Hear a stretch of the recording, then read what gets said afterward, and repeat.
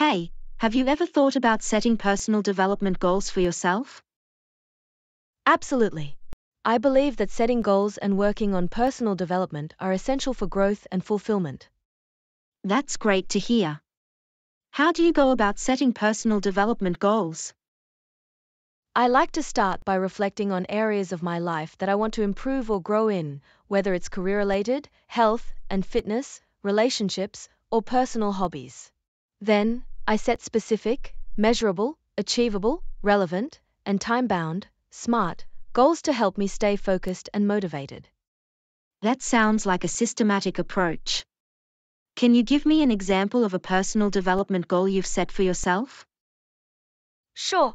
One of my goals is to improve my public speaking skills.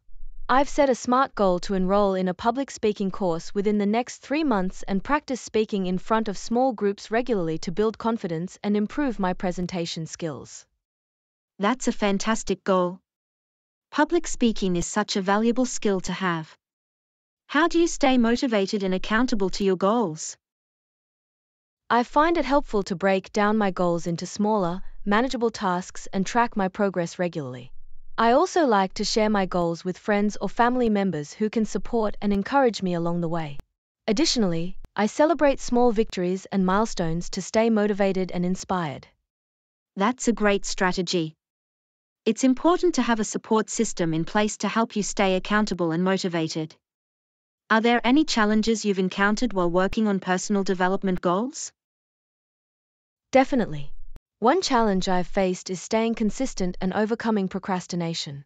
It's easy to get sidetracked or lose motivation, but I remind myself of the reasons why I set these goals in the first place and stay committed to my growth journey. That's a common challenge, but it's great that you're able to overcome it. What advice would you give to someone who's interested in setting personal development goals but doesn't know where to start? I would encourage them to start small and focus on one or two areas of improvement at a time. Set realistic and achievable goals, and don't be afraid to adjust them as needed along the way.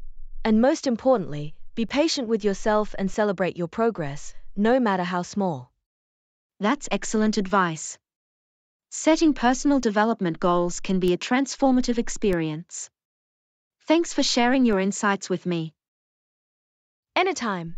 Personal development is a lifelong journey, and I'm always happy to support others in their growth. Let me know if you ever need any help or guidance with your goals. Will do. Thanks again, take care.